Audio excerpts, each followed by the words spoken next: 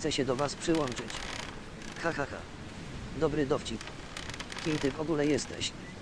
Byłym więźniem, który przeżył katastrofę morską. Chwila. Przysłał cię mój bosman. Kto? Znaczy, że nie. Spadaj. Inaczej nakarmię tobą rekiny. Nie biorę do swojej drużyny motłochu. Zrozumiałeś?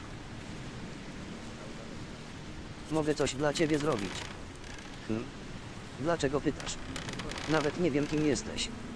Twój bosman powiedział mi, że powinienem zrobić coś pożytecznego dla obozu. Ach tak. W takim razie mam dla ciebie jedno zadanie. Idź do Emilio i przynieś zioła, na które już długo czekamy. Dobrze. A gdzie znajdę tego Emilio? Powinien być na moście prowadzącym do kaplicy. Jasne. No to idę po te zioła. Świetnie. Ale pospiesz się, już długo na nie czekamy. Kilku. Jestem odbiorna. W takim razie na pewno potrzebujesz ziół, tak. No, z tym jest mały problem. Jaki problem? Mam to wszystko ze sobą, ale już takie tanie nie jest. Rozumiem. Ile chcesz? Powiedzmy, 50 sztuk złota. Dobrze. Trzymaj złoto. Dziękuję. Jak sądzisz, czy ktoś w wiosce sowicie zapłaci za te zioła? Być może. W wiosce jest kilku kupców.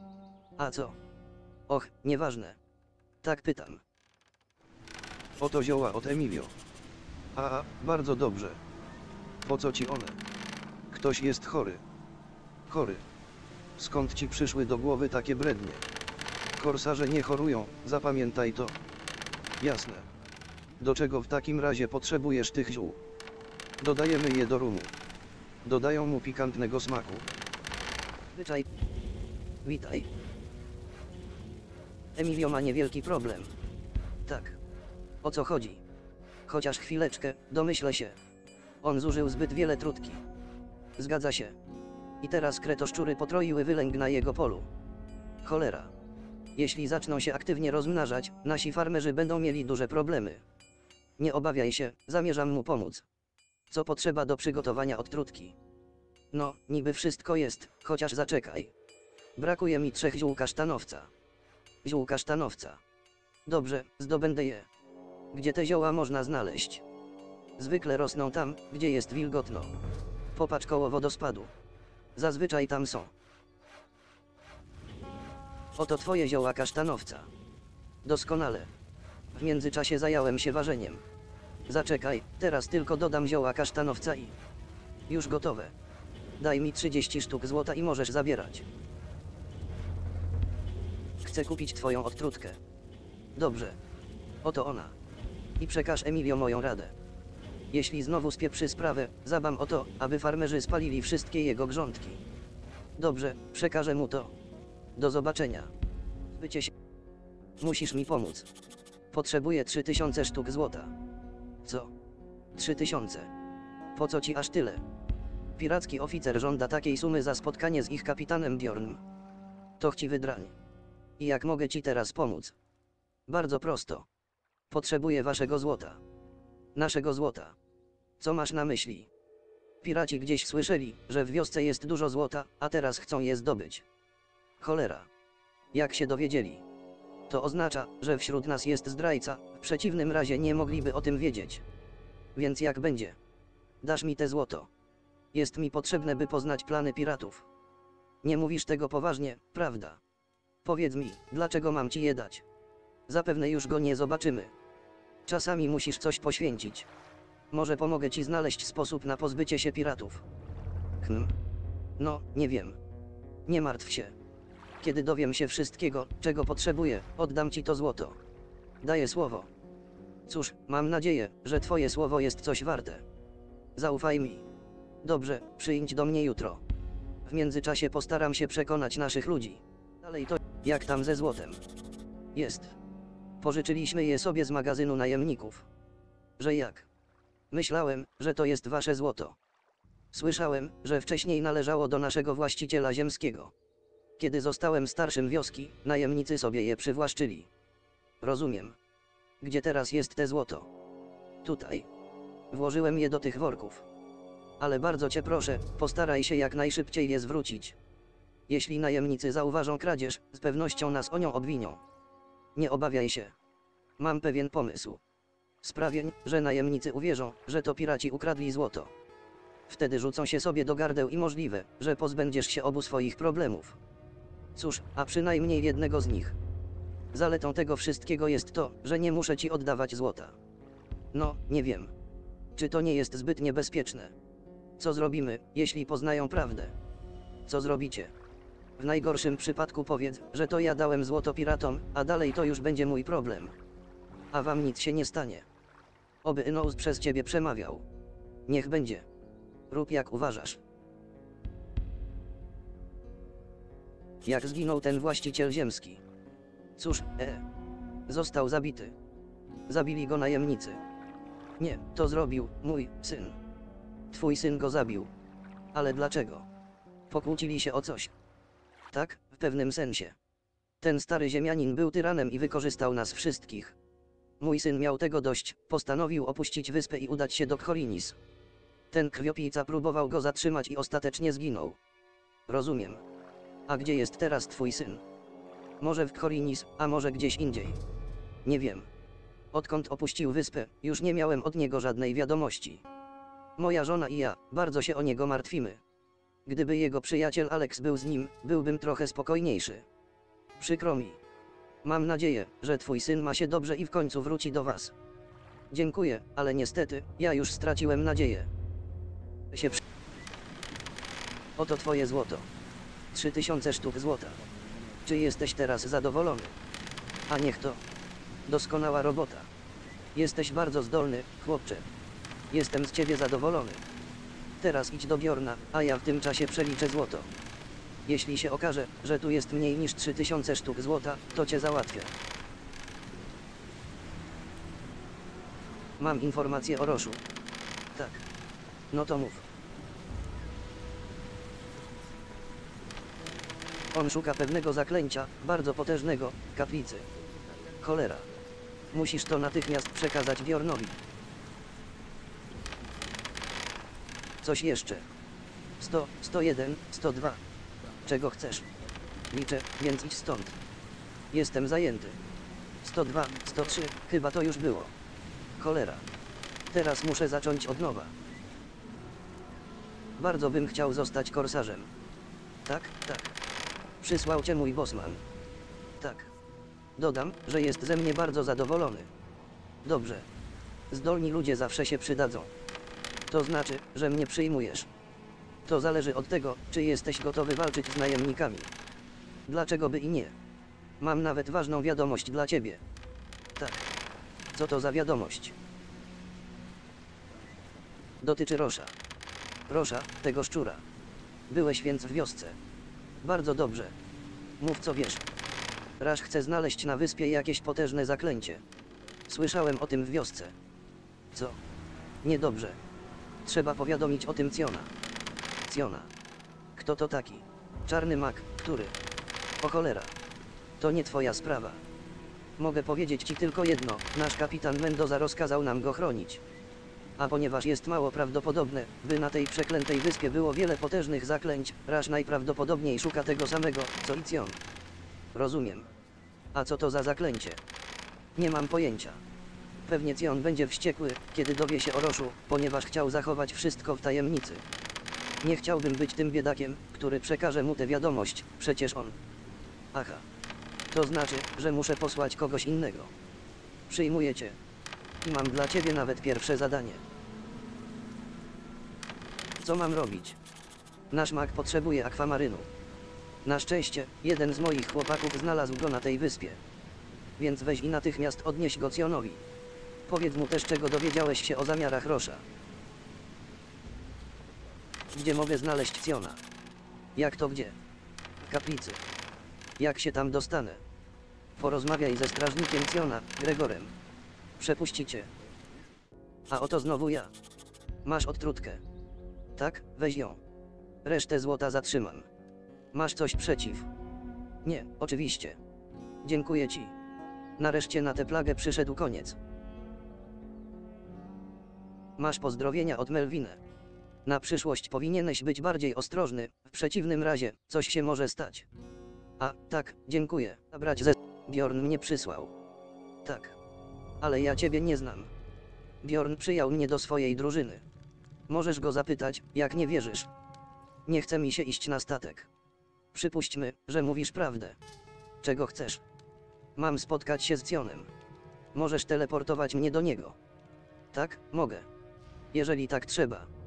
Cholera. Dlaczego Bjorn zlecił właśnie mnie tę idiotyczną robotę? Witaj, mistrzu Cionie. Mam dla ciebie akwamaryn. Bardzo dobrze. Daj mi go i odejdź. Chociaż zaczekaj. Kim jesteś? Nie znam cię. Jestem tu nowy. Bjorn przyjął mnie do swojej drużyny. Tak. No cóż, to w porządku. Idź do Kajo i dowiedz się od niego, jak naładować akwamaryn. Trzymam go uwięzionego za kaplicą. Ale. Żadnego, ale. Odejdź. Porozmawiaj z Gregorem, kiedy znowu zechcesz tu przyjść. Muszę w końcu znaleźć tę cholerną księgę. Mistrzu Cionie, powiedz mi, czy możesz mnie nauczyć czegoś o magii? Co, chcesz się uczyć magii? Jesteś piratem. Co jest tego powodem? Jestem wyznawcą Beliara i zawsze marzyłem, aby nauczyć się jego sztuki magii, ale... Ale co? Bo nigdy nie spotkałem takiego wielkiego maga, jak ty, mistrzu Cionie. Hm, wprawdzie uczeń by mi się przydał. Ale na tej wyspie długo nie pobędę, a ciebie zabrać ze sobą nie mogę. No dobrze. Ponieważ właściwie oceniłeś, że stoi przed tobą największy z czarnych magów, będę łaskawy. I nauczę cię zaklęć z pierwszych dwóch kręgów magii. Dziękuję ci, wielki mistrzu Cionie. Proszę bardzo. Jeśli chcesz, możemy zacząć choćby zaraz. Ale czystych zwojów nie mogę ci dać. Musisz je sobie poszukać gdzieś indziej. Jak się stąd wydostać? Muszę się skoncentrować, głupcze. A ponieważ nie wykonałeś mojego polecenia. Beraris Arkantasz. Gdzie on jest? O, śmiertelnik. Na Innosa. Duch. Nie musisz mnie się obawiać. Nie jestem jednym ze stworzeń Beliara. To kimże jesteś? Do niedawna byłem zwykłym nowicjuszem i służyłem magowi Kajo, którego pojmali piraci. Nazywam się Rogen. Kajo. Mam do niego sprawę i... Piraci dopiero co mnie zabili, choć im nic nie zrobiłem. Prawdopodobnie zbyt wiele wiedziałem, ponieważ rozkaz zabicia mnie wydał sam Cion. I teraz za karę, co zrobiłem, muszę się błąkać po ziemi. Ale żałuję tego, Innosie. Żałuję. Słyszysz? Jak długo mam się do ciebie modlić? O co chodzi? Co takiego zrobiłeś? O, o. Chwała Innosowi. Zanikam, zdaje się, że Inous nareszcie mnie usłyszał. Więc mów szybko, co wiesz, zanim będzie za późno. Dobrze. Słuchaj. Byłem tczurzem. Byłem sługą Ciona i wszystko mu wygadałem. Księga, a. Rozpływam się, on ją zdobył. O Innosie, zmierzam ku tobie. Co z księgą? Mów. Szybciej. Zabij. Ciona, zanim on pójdzie do krypty, a. In... Witaj, magu. Odejdź stąd, póki jeszcze możesz. Inous opuścił to miejsce. Ty jesteś Kajo. Przychodzę od Ciona. Więc na co czekasz? Czyń to, po co tu przyszedłeś. Co? Nie, źle mnie zrozumiałeś. Przyszedłem ci pomóc. Ty. Mnie. A niby z jakiej racji? Ponieważ tak naprawdę, to służę Innosowi, a z Cionem i piratami działam tylko dlatego, aby dowiedzieć się o ich planach. Chwała Innosowi. Są jeszcze na tym świecie dobrzy ludzie. Ale co zamierzasz zrobić? Znalazłem twojego nowicjusza, Rogana. Nareszcie. Gdzie on jest? Co z nim? Przykro mi, ale został zabity. Widziałem się z jego duchem przed jaskinią. Ale teraz jego duch opuścił ten świat. O Innosie. Gdyby ci przeklęci piraci nie szwycili mnie, mógłbym pomóc biedakowi. Mimo wszystko, dziękuję ci. Nareszcie wiem, co z nim. Weź te mikstury, na pewno ci się przydadzą. Ale zanim będę mógł ci pomóc, muszę porozmawiać z Roszem, ponieważ on ma dla mnie ważne informacje. Ale dopiero do niego się dostanę, gdy wystarczająco dużo dowiem się o Cionie i piratach. Skoro tak, to mogę ci pomóc, a przy okazji i sobie. Co chcesz przez to powiedzieć? Słuchaj uważnie. Sion wie, że za pomocą magii może mnie przykuć do tego miejsca. Ale to działa tylko wtedy, gdy on znajduje się w kaplicy. Wielokrotnie mnie przesłuchiwał, ponieważ chciał się dowiedzieć czegoś więcej o zaklęciach. Niczego konkretnego mu nie powiedziałem, ale sporo się dowiedziałem. Jeśli powiem ci wszystko, czego tu się dowiedziałem, to z pewnością będziesz mógł się dostać do Rosza. Brzmi nieźle. A gdzie jest haczyk? Cjon musisz umrzeć. Ale bez mojej pomocy nie poradzisz sobie z nim. Sądzę, że nie tylko krata tu cię trzyma, prawda? Tak. Magiczna aura pozbawiła mnie mocy i trzyma w zamknięciu. Ale jeśli mnie stąd wyciągniesz, to pomogę ci. Poproś strażników Ciona, aby zaprowadzili cię do niego. Kiedy się z nim zobaczysz, wypowiedź następujące słowa, Innotar Arunis Kartan. Tylko tyle. I to zabije Ciona. Oczywiście, że nie. Ale to oczyści kaplicę z magii Beliara i przez to znacznie go osłabi, a wtedy będę mógł się uwolnić i rozprawić z wartownikami. Potem teleportuję się do ciebie i pomogę ci w walce z magiem. Dobrze, ale mam pytanie. Co chcesz wiedzieć? Po co Cion i piraci przybyli na Adarmos? Korsarze nie mają tu znaczenia. Chcą tylko łupów. Cion poszukuje tu pewnej pradawnej księgi. Księgi. To wszystko. Niezupełnie. Księga zawiera zaklęcie ochronne, które trzeba wypowiedzieć przed wejściem w jakiekolwiek przeklęte miejsce. Przeklęte miejsce. Czy to znaczy, że Cion chce odwiedzić takie miejsca? Tak, ale nie na tej wyspie, ponieważ tu nic podobnego nie ma. Ale gdzie takie miejsca mogą być, tego nie udało mi się ustalić. Z jego uwag mogłem tylko wywnioskować, że świat byłby w wielkim niebezpieczeństwie, gdyby był w stanie dostać się do tego miejsca. Jasne. W takim razie, musimy go jak najszybciej powstrzymać. Gdzie znajduje się księga? W kaplicy. Jeśli się nie pośpieszymy, on znajdzie księgę, ponieważ nie jest schowana, a stoi na regale w mojej bibliotece. Kiedy wypytywał mnie o księgę, udałem, że niby ją dobrze ukryłem. Ale dokąd to kłamstwo będzie działać? Wcześniej czy później, Beliar wskaże mu drogę do księgi. Więc nie traćmy czasu. Pański olej. Mam spotkać się z Cionem. Możesz teleportować mnie do niego. Tak, mogę. Jeżeli tak trzeba.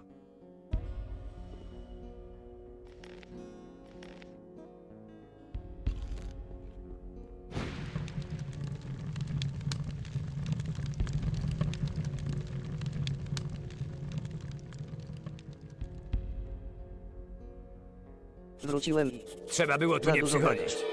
po prostu powiedz mi, jak załadować akwamaryn. No, co, chrząka. Co?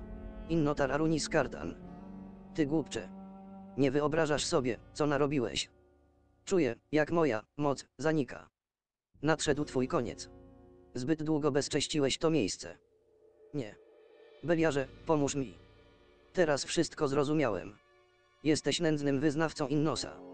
Ale spóźniłeś się. Księga z zaklęciami ochronnymi jest już w moich rękach. Zostało tylko. Milknie. Arch. Jeszcze się spotkamy.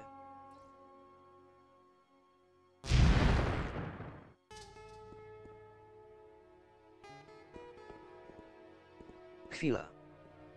Chwila. Cholera. Cjon gdzieś przepadł. Po prostu zaniknął. I ma tę księgę. Hm. Z jednej strony, jego zniknięcie jest dobre dla Adarmosu, ale z drugiej strony, kto wie, co z tego wszystkiego wyniknie. Ale przynajmniej on już więcej nie będzie zagrażał wyspie. Dziękuję ci za to. A co z księgą? Co z księgą? Cion powiedział ci, dokąd się udaje. Niestety, nie. Więc nic nie możemy zrobić. Można mieć tylko nadzieję, że się myliłem i że nie będzie mógł narobić tyle szkód, ile przypuszczałem. To dość marna pociecha. Doskonale cię rozumiem. Ale zaufaj Innosowi, chłopcze. Być może kiedyś znów spotkasz Ciona i zdołasz odebrać mu księgę. Ale dość o tym. Lepiej zajmę się oczyszczaniem kaplicy z aury Beliara. Teraz możesz ponownie wrócić do badań, mistrzu Kajo. Gdyby wszystko było takie proste. Próbuję stworzyć pewną cenną miksturę, ale brakuje mi kilku składników. Na tej małej wysepce trudno cokolwiek znaleźć. Jakich składników potrzebujesz? Może uda mi się je zdobyć. To bardzo miło z Twojej strony, ale chyba nie zdołasz mi pomóc. Podstawowy składnik jest bardzo cenny i bardzo rzadki. Co to jest? Olej, a dokładnie, syriański olej. Wcześniej kupcy z Arantu przywozili go z dalekiego południa. Powiadali, że ten olej ma szczególne właściwości lecznicze. Nikt nie wiedział, skąd brali go kupcy. A po zwycięstwie króla Erchaobara nad Arantczykami, ten sekret popadł w zapomnienie. Teraz nawet w Arancie nie można znaleźć tego oleju. A ponieważ nikt nie wie, gdzie znajduje się ten tajemniczy kraj Syriana, to prawdopodobnie już nigdy nie ujrzy swojego oleju. A zresztą, to moje problemy, starego marzyciela. Myślałem, że będę mógł stworzyć miksturę, zdolną wyleczyć każde rany.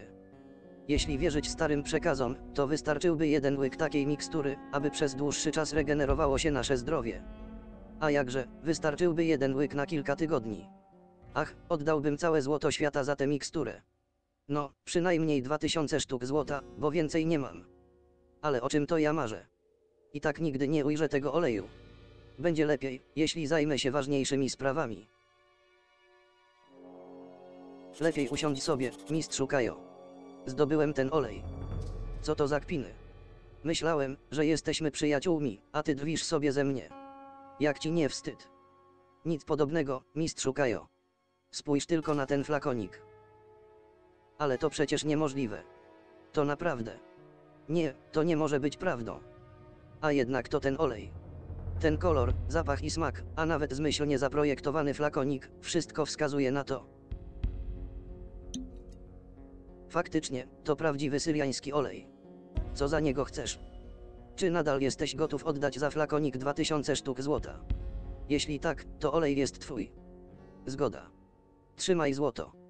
Doskonale. Dziękuję ci. Nareszcie będę mógł kontynuować pracę nad miksturami. Zresztą brakujących składników już jakoś sobie poradzę.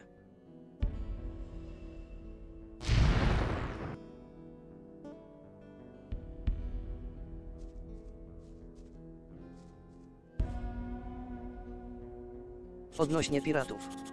Opowiadaj. Z piratami przybył czarny Makcjon. Cholera, więc to prawda. Musisz dowiedzieć się więcej. Powinniśmy wiedzieć, czego on tu szuka. Cjon nie będzie wam już sprawiał problemów. Bo niby co? Zniknął bez śladu. Naprawdę. To świetnie. Teraz piraci są praktycznie bezbronni. Człowieku, spisałeś się. Masz tu trochę złota za fatygę. Landau nie będzie ci już przeszkadzał. Rosza znajdziesz w tylnej części budynku. Jak wygląda sytuacja? Na razie jest spokojnie. Kosta powiedział mi, abym cię przepuścił. Możesz przejść do Rosza. Ale nie rób tu problemów.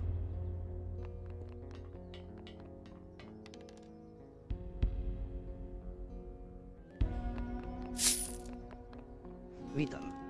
Co tu robisz? Co ci trzeba, nieznajomy? Jeśli ci nikt tego jeszcze nie powiedział, to posłuchaj, jesteśmy bardzo biedni i niczego nie mogę ci dać. Ale ja nie chcę żadnej jałmużny. Dobrze. W takim razie nie przeszkadzaj mi. Chciałbym o coś zapytać. Wybacz, chłopcze, ale jestem zajęta. Witam. Co tu robisz? Zarządzam zapasami i odpowiadam za żywność. Więc można powiedzieć, że mam całkiem dobrą robotę. Co sądzisz o najemnikach? Większość z nich to idioci. Ale jednak stereotyp, siła jest, rozumu nie trzeba, nie dotyczy ich wszystkich. Przynajmniej Rosza nie można lekceważyć. Coś jeszcze. Jeśli nie brać pod uwagę piratów, orków i dużej ilości dzikich zwierząt w lesie, to wszystko jest w porządku. Chciałbym. Zostaw mnie w spokoju.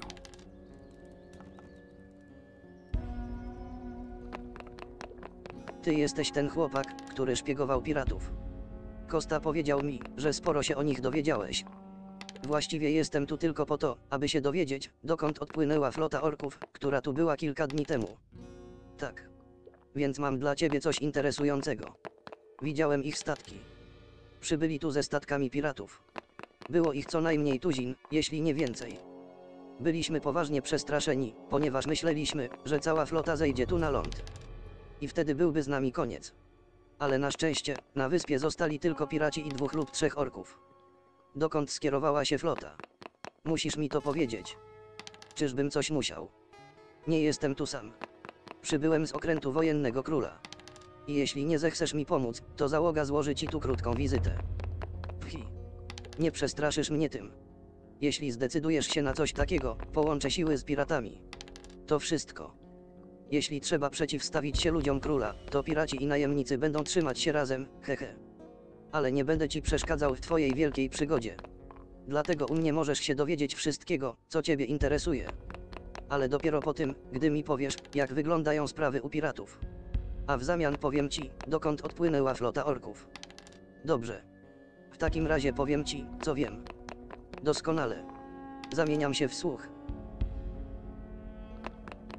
Co do piratów. Tak, ich przywódca nazywa się Bjorn. Są doskonale wyposażeni i mają szpiega w pobliżu wioski. Szpieg. Jak się nazywa? Alvarez. A to drań. Dopilnuje, aby dostał to, na co zasłużył za swoją zdradę. Co jeszcze? Piraci ochraniali Ciona, czarnego maga. Ochraniali.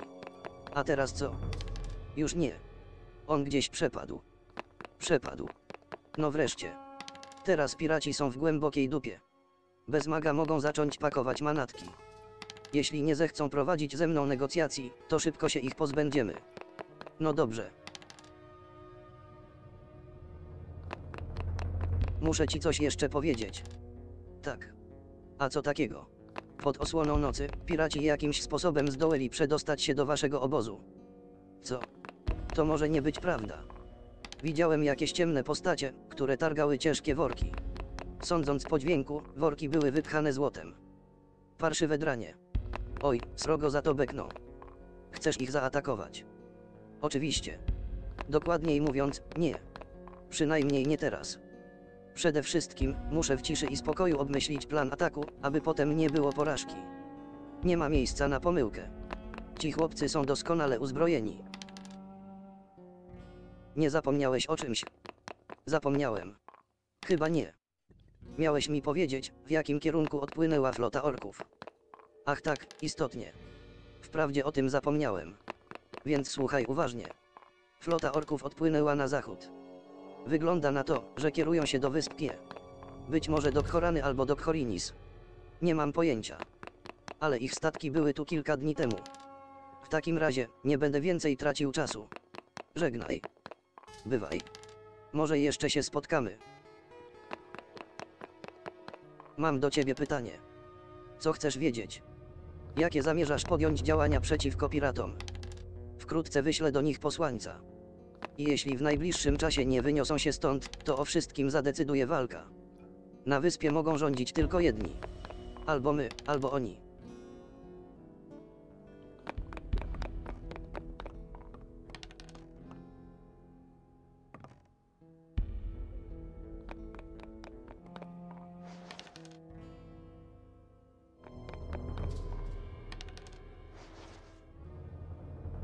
Przyszedłem się pożegnać.